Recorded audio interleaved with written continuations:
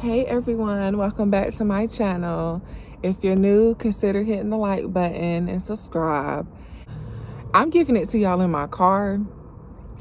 Uh, I'm waiting to go into class, but I just felt like to beat some time while I'm waiting. Well, giving y'all a little story time, and it's about my terrible roommate story. So, okay, so I was about 22, 23, and uh, this was my friend at the time, at least, you know. And we decided that we wanted to move out. This was back in 2014. And so we was basically getting tired of staying with our parents and we moved out.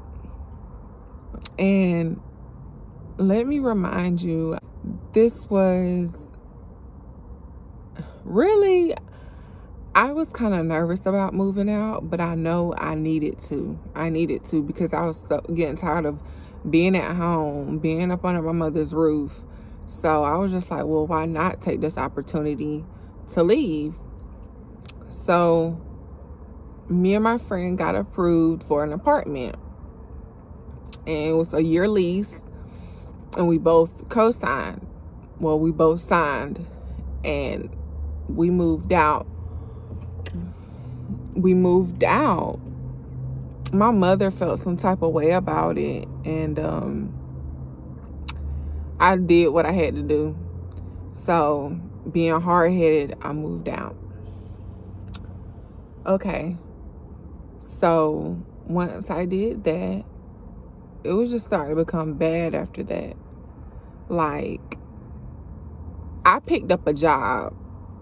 I was working, I was working at this plant and I picked up a, I picked up a weekend shift because I quit at my Sam's Club job because it wasn't paying me enough. And um, so I just started noticing some changes and my roommate, she she worked, but she worked at Sam's Club too. Okay, I'm gonna get into that. I just felt like the weekend shift wasn't paying me enough, so I ended up switching to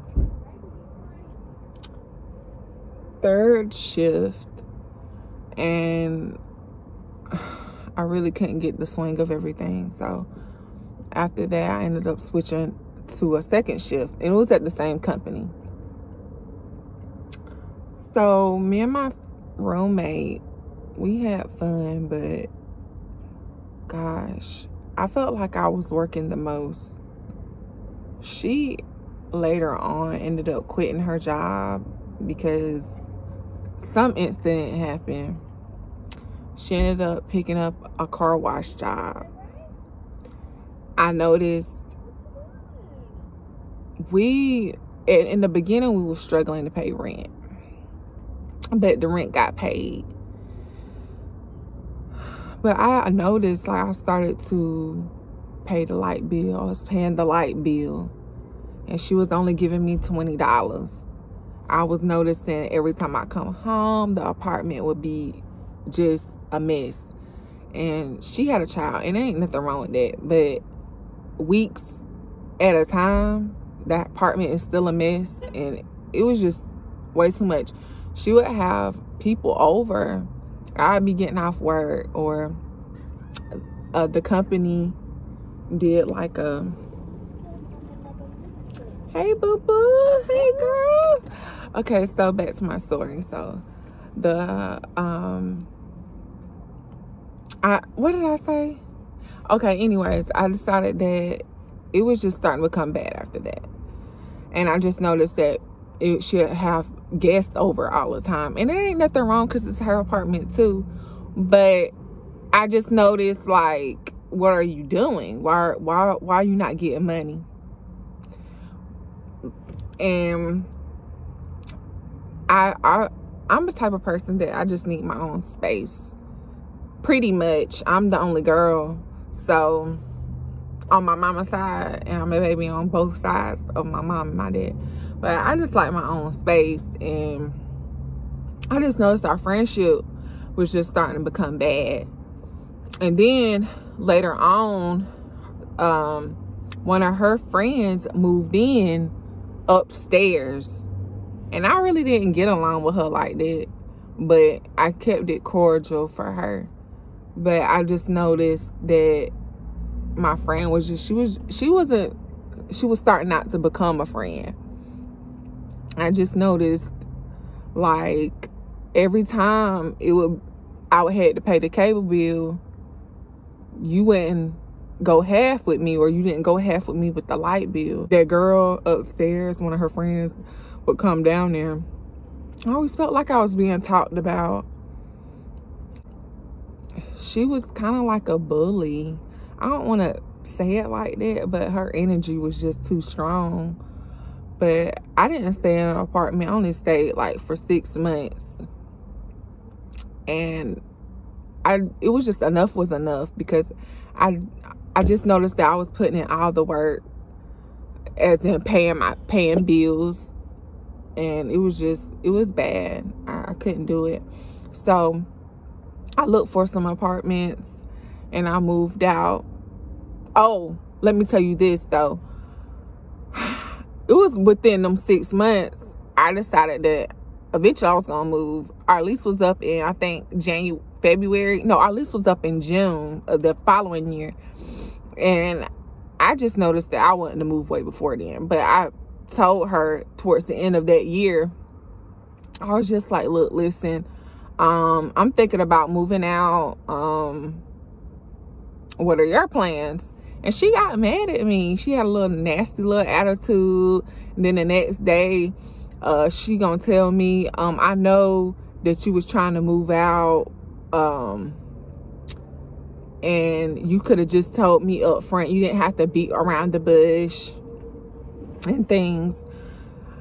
And i just couldn't take it anymore so further no I went and got my shit because I stayed at my mama's house for a week. Went and got my shit and I got approved for an apartment. So I got my shit and I left.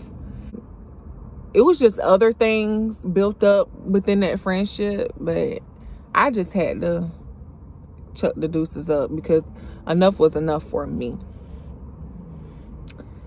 And we didn't talk for like i want to say two years about two years and then i ran into her. And we tried to mend our friendship but those few months and it just it wasn't the same. I felt like she hasn't changed as far as growth but I'm not gonna say I didn't have a good time within that friendship. I did, but I just felt like it wasn't true. So therefore, I'm telling y'all, pick your friends wisely. Um, when you're in your early 20s, like you're not being as selective as you should, and people people can drain your energy. And if you feel like you're unmotivated not you're not motivated enough anymore you're not focused anymore your friend just throws you off track then maybe you might need to just have fun with them sometimes. Or you feel like they talk about you or they just try to pick on you all the time. That's not a friend period. And i feel like ever since that roommate thing because it really did it, it it in my early 20s like that did something to me. Like i felt like i couldn't trust i couldn't trust especially in friendships and it shouldn't even be like that. But i'm 28 so now that i look back on everything i i felt like me moving out it was it was a risk taker but it was something that needed to be done and sometimes we go through things because you know, it just helps you grow. It helps you see things at a different point of view than you didn't see back then. So let me know. Um, go down into the comments write up under the comments and let me know your horrible if horrible roommate story like have you ever had a terrible roommate let me know so i hope to see y'all in my next video. I'm gonna go to class and i'll see y'all in my next video. Bye